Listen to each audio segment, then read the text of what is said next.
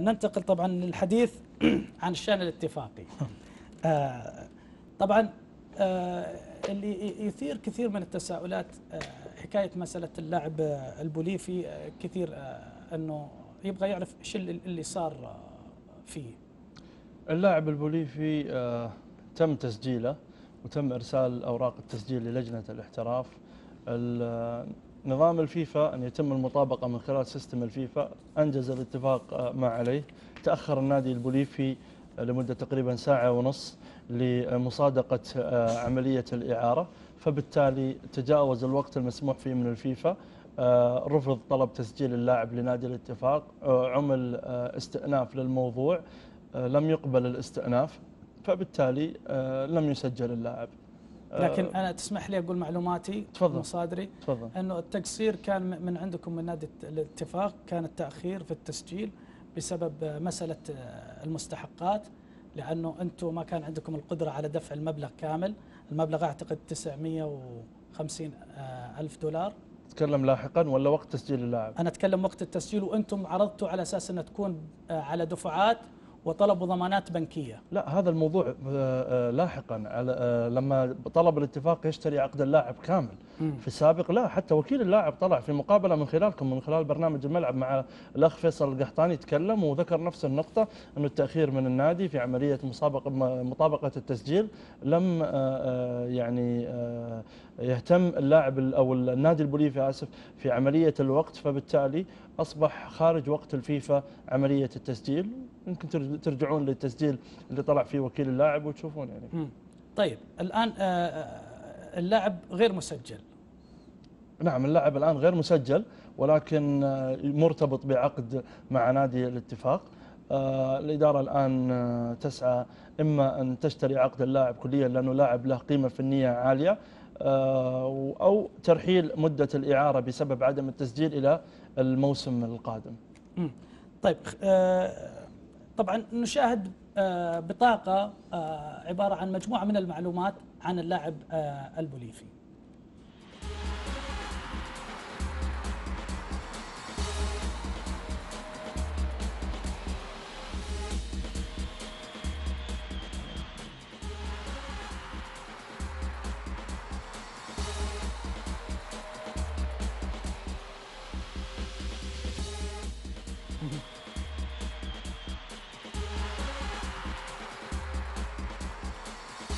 طبعا بس للإشارة البطاقة تخص اللاعب البرازيلي سانتوس آه، اللي الآن الفكر أنه رايح يكون التعاقد معه. لكن الحديث عن اللاعب آه، البوليفي آه، ما تعتقد أنه المفترض أن الإدارة ال- الاتفاقية الآن مسألة أن توقع وترتبط بعقد مع لاعب ولا تستفيد منه طوال الفترة هذه إهدار آه، الأموال النادي؟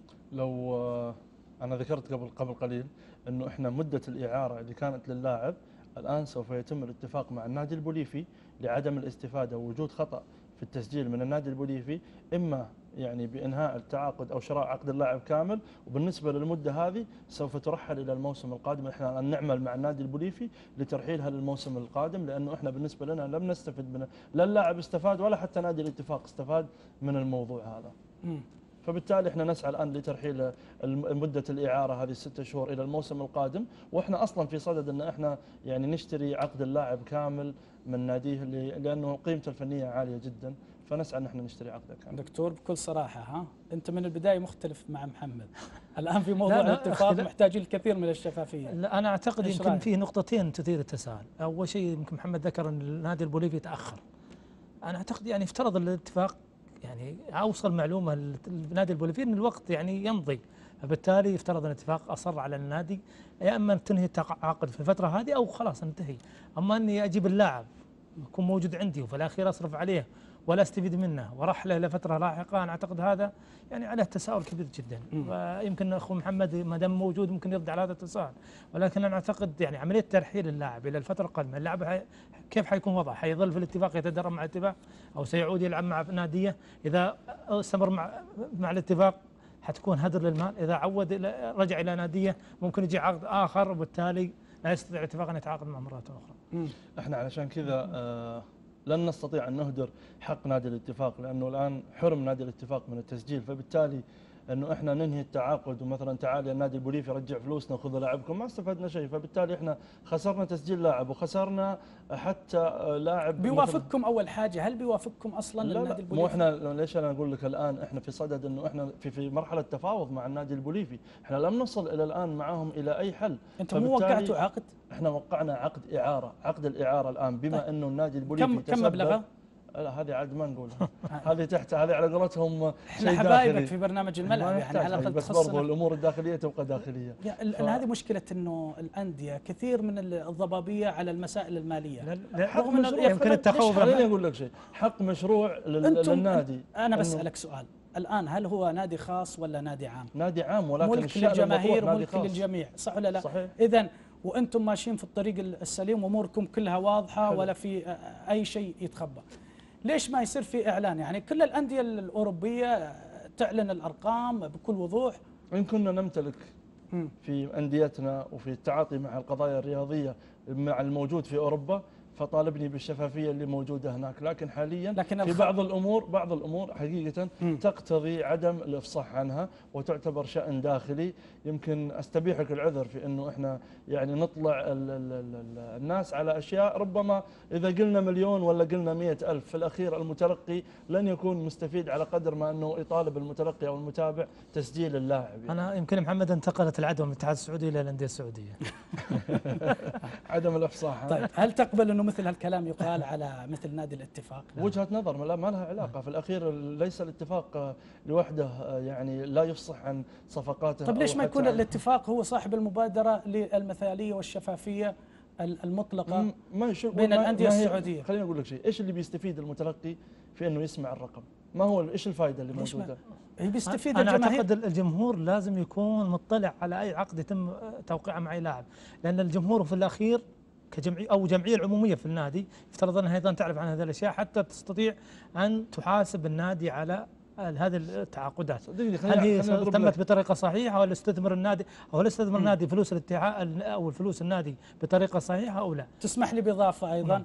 أنت لما تطرح وتك- وتكون شفاف وتعطي المبلغ ساعتها رايح ال- الجمهور يقيم إنه هل الإدارة هذه عندها القدرة على التفاوض الجيد وجلب لاعبين مميزين بمبالغ معقولة أم إنه والله قاعدة تهدر يطلع المبلغ كبير واللاعب مستواه آه، سيء فنيا وبالتالي يدل على إنه الإدارة غير جيدة في مسألة التفاوض ما مع هو اللاعبين. مقياس ما هو مقياس. لو استذكرنا الفترة اللي جاء فيها ويلهامسون للهلال آه، وتم إعلان الصفقة آه، ثائرت ثائرة الجمهور الهلالي على موضوع أن ويلهامسون لم يكن مجدي ومستوى أقل من المطلوب ولكن لما صبر الجمهور الهلالي وأصبح ويلهامسون قيمة فنية عالية أشادت الناس فبالتالي القيمة إطلاقا يعني ما هي مقياس. لكن أيضا في أندية أيضا جلبت لاعبين بمبالغ عالية جدا ولم يقدم المأمول. صحيح. وبالتالي يمكن هذا أحد الأسباب الرئيسية في اخفاق لا شوف على فكرة بقول لك شيء إحنا يحسب أنا نادي. الاتفاق. خليني أقول لك شيء يحسب لإدارة نادي الاتفاق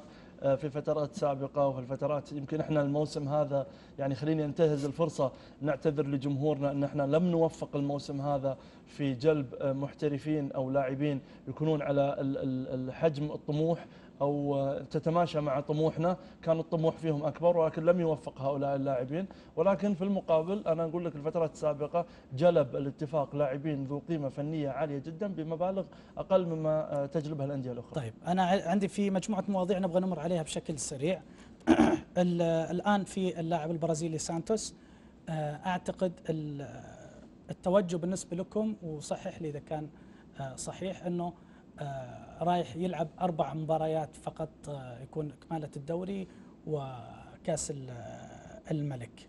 أول شيء سانتوس لم يسجل إلى الآن. سانتوس آه، اجتهدت الإدارة الاتفاقية في جلب آه، لاعب في الفترة الحالية ولكن لن يسجل إلا إذا كان ذو قيمة فنية عالية يراهن عليها المدرب أو يتفق عليها المدرب وأنه يكون جاهز لياقيا فبالتالي متى ما قال المدرب إنه هذا اللاعب يستحق حنسعى يعني بأسرع وقت إن إحنا نسجل لأنه على حسب لوائح الفيفا ال- النادي اللي يملك مقعد فارغ أو مقعد شاغر خلينا نسميه آه، يحق له التسجيل إذا سجل مع لاعب عاطل، لاعب عاطل معناته إن لم يكن آه، المدرب آه، يعني موافق على تسجيله بحيث إنه يكون قيمته الفنية عالية لن يسجل هذا الاتفاق. طيب الحين أخي أنا. يعني يمكن شد انتباهي كلمة عاطل يعني.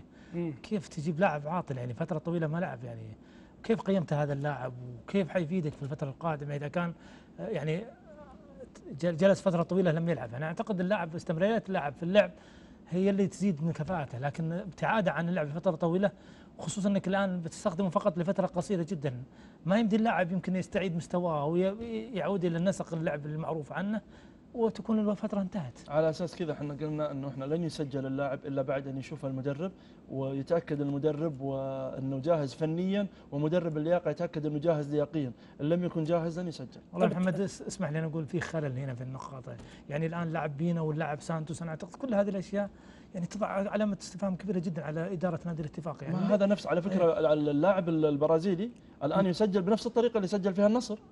النصر سجل بنفس وانت شفت الطريقة قيمة اللاعب اللي جابها النصر الآن؟ لا عشان كذا إحنا يعني نسجل هل اللاعب لاعب- اللي الآن سجل النصر قيمته عالية جدا؟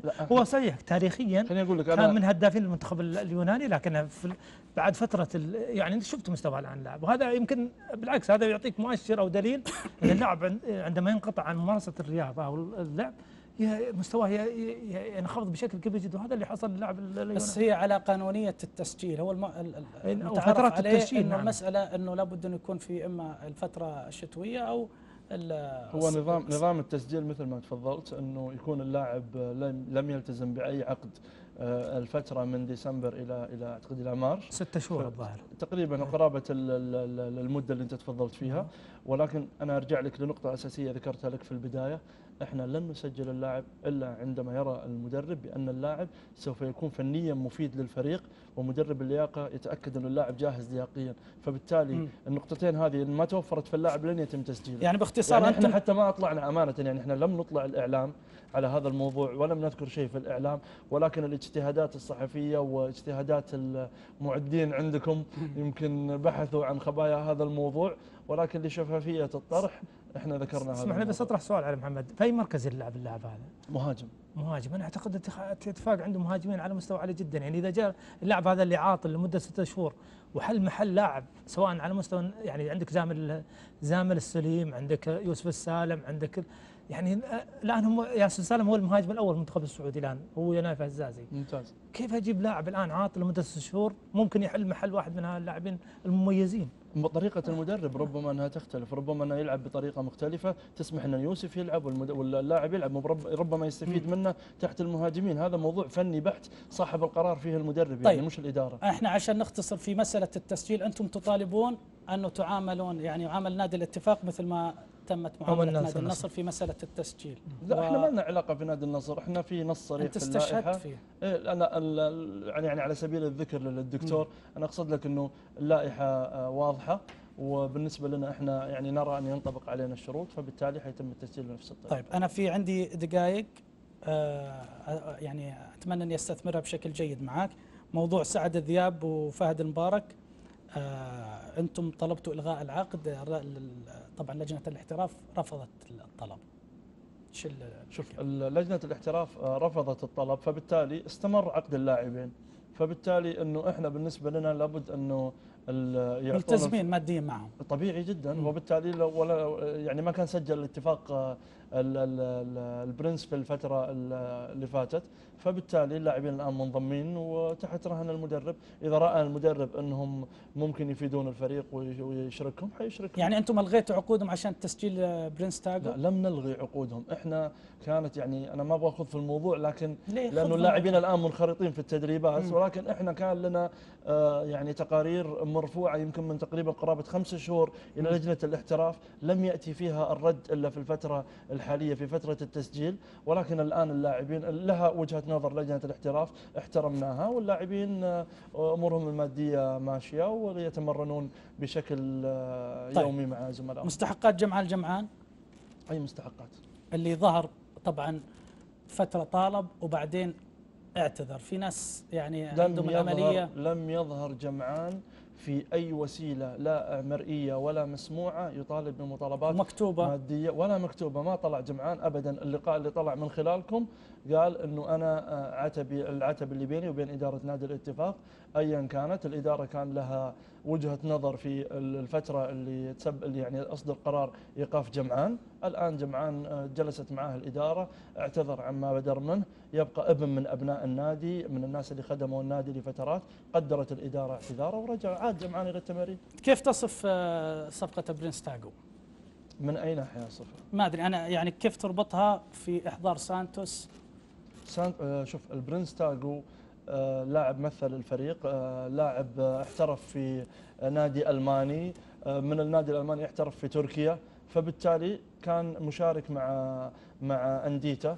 آه، البرنس الحاجة الوحيدة اللي صادفتها إنه كان معدله اللياقي نازل فبالتالي في أشياء أنت لما تجي تتعاقد تتعاقد مع لاعب موجود أساسا مع ناديه مشارك مش مستبعد أو غير يعني إحنا الآن جايبينه على فكرة على إعارة يعني مش. آه، حتى موقعين معاه عقد جديد ولكن معدله اللياقي ما كان آه، بالشكل جاهز. المطلوب. ما كان بالشكل المطلوب ولا كان جاهز ويعني طيب. طيب. الفترة أنت ما تقدر حتى تغامر في ذاك في الفترة هذيك في لاعب وخصوصا انه وقت اللي اللي جاء فيه كان ضيق جدا أنا في عندي دقيقة إنه هالمعطيات هذه هل هي السبب في الحملة الإعلامية إذا صح إنه في حملة إعلامية آه، ضد الإدارة الاتفاقية هل هي مبررة والله شوف انت الآن آه، خلينا يعني دخلنا في موضوع أكثر أهمية. اليوم أي شخص يطالب في أي موضوع لابد أن يكون له رأي ورأي آخر. الآن عندما نمجد في موسم ماضي الإدارة الاتفاقية ووصولها إلى نهائي كأس ولي العهد ومحافظتها على وجودها بين الأربع مقاعد الكبيرة على مدى السنوات الماضية في ظل وجود الموارد المادية. ونجي نقول نطالب الإدارة بالرحيل. هل الآن في إدارة جات تبغى تمسك النادي؟ هل في شخص هل وقت ال- ال- الجمعية العمومية دخل أحد وقال أنا أبغى الإدارة؟ إحنا مجرد يعني للأسف القضية مش عملية تغيير. القضية الآن من يخدم نادي الاتفاق؟ ال- ال- الاتفاقيين يعني اسمح لي يعني في هذه الجزئية تحديدا قاسوا الأمرين في الفترة السابقة عندما إحنا الآن الاتفاق لن يتوقف على الاستاذ عبد العزيز الدوسري أو غيره ولكن يعون الجميع جيدا إنه عندما ابتعد الاستاذ عبد العزيز قاس الاتفاق الأمرين وطالبوا الاتفاقيين مرة أخرى بعودة عبد العزيز. النقطة يمكن اللي أنت كنت تحب أنك آه، يعني تسهب فيها جت في ال- الأخير لكن أنا حقيقة ما عاد لي إلا أن أتقدم بالشكر الجزيل لك الأستاذ محمد الصدع- الصدعان عضو مجلس إدارة نادي الاتفاق. شكرا جزيلا لك. شكرا لكم وان شاء الله نكون ضيوف خفيفين على الجمهور وقدمنا شيء يليق بمسامعهم إن شاء الله. الدكتور فهد القريني الإعلام الرياضي شكرا جزيلا لك. شكرا سعيد جدا بالتواجد وتواجد الأخ محمد. الشكر موصول لكم مشاهدينا الكرام على متابعتكم الدائمة لبرنامج الملعب. تقبلوا في الختام. التحية من مدير ال- آه، التحرير عايض القحطاني فريق الإعداد صالح المرشد فهد الغامدي عبد الرحمن الناصر سعيد العمري ومن الإخراج علي المالكي. في الختام نترككم مع هدية خاصة من برنامج الملعب للأخضر السعودي. ما لاح واهدى في الاسماء الاسماء لا جاء